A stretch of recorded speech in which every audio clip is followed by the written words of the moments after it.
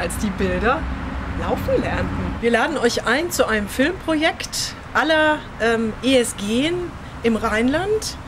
Es darf ruhig auch ein bisschen schräg sein.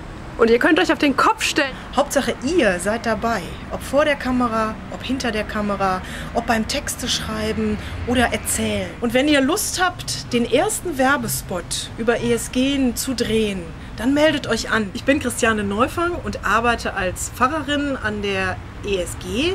Das steht für Evangelische Studierendengemeinde in Köln. Und ich habe mal beim WDR gearbeitet, allerdings war das nur im Radio. Und einen Film habe ich selber auch noch nie gedreht. Das würde ich gerne mit euch zusammen machen.